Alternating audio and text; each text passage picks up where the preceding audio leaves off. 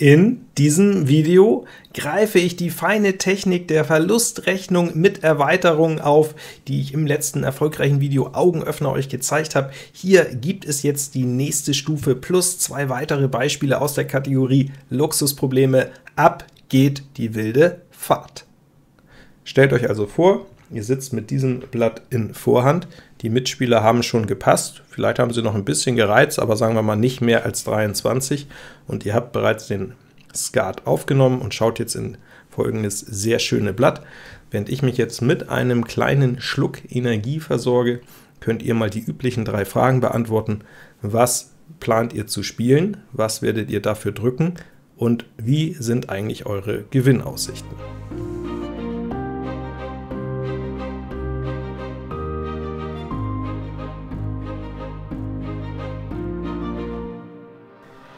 Ja, ich denke mal, fast alle Spitzenspieler werden da gar nicht drüber nachdenken müssen, weil das ein bekanntes Motiv quasi ist. Ich denke auch, die erste Frage ist vielleicht am leichtesten zu beantworten. Die Spielansage, der Grang ist einfach bärenstark und das Farbspiel, auch wenn das super aussieht, der Kreuz, ist doch schwächer, denn im Zweifel, wenn es wirklich hart auf hart kommt, die Trümpfe alle dagegen sitzen, die vier Herzen, sagen wir mal, in einer Hand sitzen, dann gibst du bei dem Kreuzspiel jedenfalls mehr Stiche ab, hast weniger Kontrolle und das Spiel ist verlierbar. Ähm, beim Grang, das ist relativ leicht zu überschauen, gibt man eben maximal drei Stiche ab, wenn nämlich die Buben in, in einer Hand sitzen. Dann wird ein Bauernstich verloren und noch zwei Beikartenstiche. Und das ist sehr stabil und auch relativ gut planbar. Also, Grang sollte hier die Wahl sein. Und die nächste Frage ist, wie wird der Grang gedrückt? Und ich denke, diese beiden Karten lachen einen natürlich an, völlig klar. Und ehrlicherweise muss man sagen, im Schneidersinne ist das natürlich auch die naheliegende Drückung. Wenn jetzt die Buben verteilt fallen, dann wird danach Herz 7 gespielt und die anderen können überhaupt nur noch aus dem Schneider kommen, wenn Herz 4 zu 0 verteilt wäre. Ähm, die Frage ist, fällt einem das im schlechtesten Fall auf die Füße, also wenn die Bauern in einer Hand sitzen, dass man eben hier diese Dame noch in der Hand hat. Und da knüpfen wir eben an die Verlustrechnung an. In dem Beispiel hier ist es anders als den von mir bisher gezeigten Beispielen eben nicht so, dass man ganz sicher die ersten x-Stiche runterziehen kann, weil an eben hier die beiden schwarzen Buben fehlen und deswegen ist es eben so eine Art erweiterte Verlustrechnung. Die Antwort ist aber auf jeden Fall ähm, dass tatsächlich die Herz-Dame im Siegsinne hier gedrückt werden muss. Es ist noch nicht lange her, da habe ich gesehen, wie bei einer Mannschaftsmeisterschaft, also durchaus erfahrener Vereinsspieler, genau dieses Spiel verloren hat, weil er eben das Bild unterm Ass im Blatt gehalten hat. Und warum das eben kritisch ist, das sehen wir gleich quasi ähm, als Umkehr von dem Beweis, den ich jetzt einmal führen möchte, woran man eben auch sehen kann, wie gut vorher planbar das Skatspiel eigentlich ist, wenn man ein bisschen Erfahrung und Übersicht hat. Also, wir drücken die beiden Bilder und die Analogie zu dem Beispiel, welches ich im Video Augenöffner quasi auch schon gezeigt habe, seht ihr vielleicht auch. Wir haben hier einmal Asslusche und einmal die blanke Lusche, also das vierte Beispiel in dem genannten Video. Wir spielen jetzt also den Grang und logischerweise gucken wir erstmal mit dem Kreuz Buben, ob wir beide Buben abziehen können. Dann hätten wir ja eben einen ganz leichten Sieg. Im Worst Case passiert das natürlich nicht. Jetzt steht der Gang über die Dörfer an und es kann ja auch bisher erst ein Kreuz abgeworfen worden sein, vielleicht auch gar keiner. Ähm, deswegen das Kreuz Ass könnten wir na, natürlich gefahrlos ziehen und beziehungsweise, wenn das direkt gestochen wird, wäre das sogar in unserem Sinne. Aber wir können tatsächlich äh, auch mal rein aus Spaß hier mit der 10 starten, denn das eine Auge wird gleich noch über sein. Also Kreuz 10, einer wirft ab, der andere muss noch bedienen mit dem König in dem Fall. Und jetzt kommt eben der nächste Kreuzvolle und sei es jetzt hier mal das eine Auge, das Ass, was wir extra mal hergegeben haben. Natürlich kommt jetzt eine Schmierung. Ähm, andere Konstellation auch vorstellbar. Man muss jetzt hier natürlich nicht äh, den Fünferzug mit Dame 9, 8 haben. König, Doppeldusche, alles was Fünferzug mit Ass 10 ist, ist hier analog zu betrachten. Ähm, die Buben könnten auch hier sitzen, aber in dem Fall machen wir es einfach so. Es wird jetzt eben hier geschmiert, es wird gestochen. 24 Augen. Schlimmster Fall, der uns jetzt ereilen kann, Genau auf der blanken Pik Lusche wird erstmal das volle Pfund getroffen. Und wenn die Buben etwa dastehen und da ein guter Spieler ist, dann kann das auch sein, dass der von da einfach scharf die 10 spielt, diesen 21er Stich sucht und dann das Spiel einfach so rum rüber geht. Also komplett plausibel, das kann passieren. Nach zu den 24 kommen jetzt noch 21 Augen auf 45. Und jetzt haben wir hier wieder die sogenannte geschützte Lusche, geschützt eben durch das Herz Ass. Die Gegner haben nämlich insgesamt nur noch zwei volle in der Hand. Ich kann ja hier die Restkarten einmal aufteilen, aufdecken, die noch unterwegs sind. Hier ist einmal noch die Herz 10 mit da drin und hier ist noch die Karo 10 mit dabei. Und die Gegner haben eben jetzt 45 liegen, was bedeutet, um zu gewinnen, brauchen sie beide vollen, und die werden sie jetzt nicht bekommen, denn man muss ja nicht selber mit Herz antreten, sondern die Gegner müssen antreten. In dem Fall jetzt, wo der Herzkönig hier ist, wäre das zwar auch noch kein Problem, selber anzutreten, aber im Extremfall können eben die Herz auch komplett einseitig verteilt sein. Aber das ist hier gar nicht die Frage, denn die Gegner müssen antreten und in so Fern, sobald dort ein Voller liegt, wird eben mitgenommen, ob das jetzt in Herz ist rausgenommen oder in Karo 10 ist, die gestochen würde. Sobald da kein Voller liegt, wird eben entweder getaucht oder eben abgeworfen in dem Fall. Und so kommen die Gegner eben nur auf 59 und das sagt uns ja schon, Sie können maximal 58 kriegen, wenn wir mit dem Kreuz Ass starten. So können Sie 59 bekommen. Auf jeden Fall ist die Herz Dame, die wir jetzt in den Keller äh, gepackt haben, das Zünglein an der Waage. Und das Spiel ist vor allen Dingen, wenn wir die Herz Dame oben halten, auch gar nicht schwer zu schlagen. Ja? Buben stehen in einer Hand, Kreuz wird der zweite gestochen mit einer Schmierung, sind das dann meist 23 und dann braucht eben einfach nur Bild und Voller angeboten werden, also ganz normal. Ne? König 10 und dann hängst du da, ähm, wenn du abwirfst, stehen die Gegner dann eben schon auf 37, äh, können dir noch einen vollen vorsetzen und dann hängst du da mit deinem Bild und verlierst das Spiel einfach auf 60. Oh, wie schön ist Panama! Ihr sitzt in Vorhand und habt diese absoluten Luxusprobleme, weil dieses wunderschöne Blatt angeschwemmt gekommen ist. Aus Hinterhand bekommt ihr meinetwegen noch eine 59er Reizung mit auf den Weg, was euch natürlich ein müdes Lächeln nur entlocken wird. Jetzt die Frage, was macht ihr mit diesem Blatt?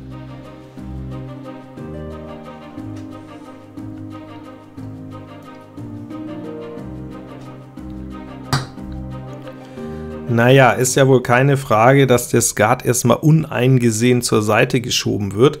Und es ist ja relativ offensichtlich, dass wir hier einen unverlierbaren Grang Hand haben. Die Frage wäre ja dann, äh, warum stelle ich denn diese Frage? Denn das ist nun wirklich nicht besonders schwer zu erkennen. Und natürlich geht es jetzt um die nächste Zusatzstufe, um die Schneideransage. Und da habe ich durchaus schon immer so Aussagen gehört wie, naja, wenn keine Reizung wäre oder wenn ich noch Punkte brauche, dann riskiere ich das vielleicht, in der Mannschaft aber nicht, ne? oder wenn ich schon gut stehe. Und das ist natürlich genau der Punkt, auf den ich hinaus will. Die Schneideransage hier ist überhaupt kein Risiko. Sie ist sicher zu erzwingen und das ist wieder die gleiche Kombination aus Verlustrechnung und der Technik hier mit der geschützten Lusche, die uns da hinführt. Verlustrechnung zunächst mal, wir haben selber fünf volle, die Gegner werden nur zwei Stiche machen. Ähm, die vier höchsten Karten sind die drei fehlenden volle, vollen, Herz, Ass, zwei Zehner und ein König. Also wenn sie die maximale Ausbeute bekommen, einfach die vier höchsten im Spiel befindlichen Karten, dann wären das 35 Augen. Aber wir können eben über diese geschützte Lusche zwingend ein volles äh, selber von diesen dreien noch einsacken, erzwingen. Und dann haben sie eben nur zwei volle und zwei Bilder und dann reicht das nicht. Ja, und wie muss gespielt werden, um das eben hinzubekommen. Selbstverständlich muss erstmal ein Bube gezogen werden, damit es keinen Unglücksfall gibt. Und jetzt spielen natürlich viele Spieler, die das vielleicht nicht so genau wissen, als erstes mal entweder die Pik 8 direkt oder die Karo 9 Ne? Aber wenn die Farben jeweils komplett einseitig stehen, dann kann da einfach geschmiert werden und in der Farbe wieder zurückgeschoben werden und dann passiert auf die andere Lusche das gleiche Unglück. Deswegen muss die korrekte Technik sein, erstmal sämtliche Einspielkarten rauszunehmen, also abzuspielen. Das heißt, wir gehen einmal über Kreuz, Wir gehen nochmal über Kreuz. Und dann gehen wir über Karo und die geschützte Lusche ist hier diese hier, also die, mit der wir letztlich das Volle erzwingen können. Ähm, deswegen ist natürlich letztlich die Reihenfolge, in der wir die Vollen ähm, abziehen, die wir abziehen wollen, auch egal. Du kannst auch erst einen Karo vollen ziehen, dann ein Kreuz hin und her, wie du möchtest. Auf jeden Fall die null Handreizung. Ne? Der Spieler hier ist tatsächlich äh, Karo-frei und der Spieler hier ist tatsächlich Pik-frei. Die Vollen stehen auch so. Wenn wir es dusselig vorgetragen hätten, würden wir es schon verlieren. Aber da wir ja wissen, was wir tun, tritt uns auch quasi nicht die kleinste Schweißperle auf die, auf die Stirn. Denn jetzt gehen wir eben mit der Karo 9 vom Spiel und das ist ja der Stich, auf den eben sowieso maximal ein Voller fallen kann, weil die andere Karte muss eben hier das, der Karo König sein. 15 Augen. Ja, und jetzt haben wir eben wieder im Endspiel nur noch zwei Volle. Spieler hier könnte etwa auf dem Blatt sitzen und würde dann wahrscheinlich jetzt die Karo Dame uns vorsetzen. Spieler hier hat den anderen vollen. Und wenn wir ihm jetzt selber antreten müssten, wäre das Spiel verloren. So aber erzwingen wir den letzten vollen, denn wenn der hier nicht auf dem Tisch liegt, werfen wir wieder ab und haben also eine sichere theoretische Schneideansage gegen jede mögliche Verteilung. Wieder Vorhand sieht wieder super aus, die Karte. Mittelhand sagt 18, für euch natürlich kein Problem. Hinterhand geht dann aber weiter, weiter, immer weiter bis 59. Aber mal Hand aufs Herz, ihr reizt natürlich in Vorhand Grang ohne 22 Augen, könnt ihr drücken. Diese lange Pik-Batterie, Herz Ass dabei, wohl keine Frage. Allerdings bei 59 jetzt einen Grang Hand loszumachen mit zwei blanken Zehnern, ist ja wohl äh, außerhalb der Frage, dass wir das nicht tun. Also ihr schaut in den Skat und dann, bupp, Pik Bube drin. Ja, ist das jetzt eine gute oder eine schlechte Nachricht?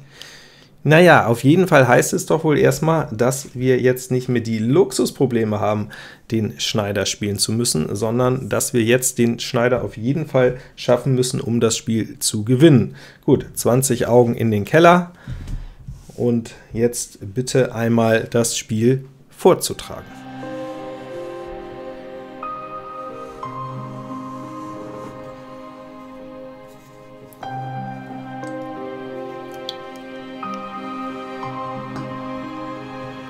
Ja, ich habe es gerade wieder gesehen, ne? Jo, was denn, ne? Pik Bube raus. Bupp. Kreuzbube, Schmierung, Einschub in Pik, Antreten mit Herz Lusche. Gleiches Bild wie vorher, zwei Abgabestiche, drei volle und die beiden äh, Bauern, zack, 35, leider verloren. Ne? Nächster Versuch, Herzlusche, Schmierung, Rausnahme, Einschub in Pik oder Direktabzug Kreuzbube, letzter Voller geht drauf, zack, leider verloren. Vielleicht nicht häufig, aber möglich und schon erst recht, wenn hier eine 59er Reizung unterwegs ist.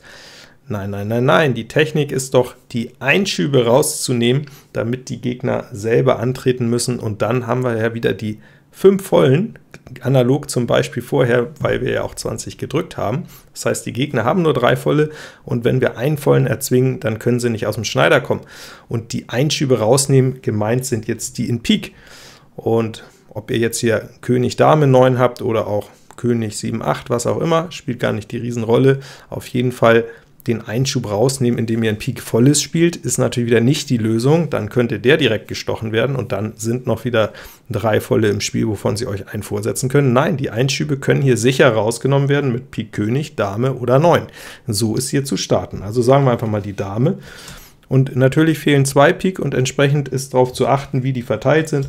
Wenn etwa in diesem Stich beide Piken fallen, dann könnt ihr jetzt ganz normal weiterspielen, jetzt den Buben raus. Wenn hier nur eine Piklusche gefallen wäre, wäre auch die zweite Piklusche noch mit dem König oder der 9 zu eliminieren. Und logischerweise, wenn dann einer sticht, ne, drei Augen oder vier Augen, ne, oder sogar ähm, da das andere volle, äh, das andere volle kann ja nicht reingehen, es ist ja kein Handspiel, also sind die beiden Pikluschen unterwegs, ähm, dann kommen die anderen auch nicht raus, denn sie brauchen ja eben drei volle. Also Pik Dame, jetzt Pik Bube, Kreuz Bube, Schmierung 15 Und in dem Fall, wo ihr jetzt in Hinterhand seid, habt ihr sogar die Pro Luxusprobleme, dass ihr euch das noch aussuchen könnt. Jetzt könnt ihr stechen oder abwerfen. Beides gewinnt, weil danach nur noch ein Voller unterwegs ist. Aber falls ihr jetzt nach diesem zweiten Stich in Mittelhand seid, dann müsstet ihr hier wieder mit der geschützten Lusche operieren und schauen, liegt ein Voller vor mir oder eben nur ein Bild. Und genau diese Verteilung könnt ihr übrigens auch als digitale äh, Aufgabe nachspielen in der Skat-App, Skat Lite oder Skat HD von ISA Interactive im Strategietrainer. Hier ist das entsprechende Kapitel. Die feine Technik kann also auch bei sehr, sehr starken Blättern nicht schaden, um sie wirklich wasserdicht zu machen, um sie selbstbewusst auch vorzutragen. Und wenn euch das gefallen hat oder ihr sogar was dazugelernt habt, dann lasst auf jeden Fall ein Abo da, dann verpasst ihr auch nicht das nächste Video, in dem ich euch dann etwas über die Gegenspielmaßnahmen erzählen werde, mit der die Gegenpartei versuchen kann, gegen diese geschützte Lusche vorzugehen. Und bis es das Video gibt, empfehle ich euch auf jeden Fall eben dieses hier.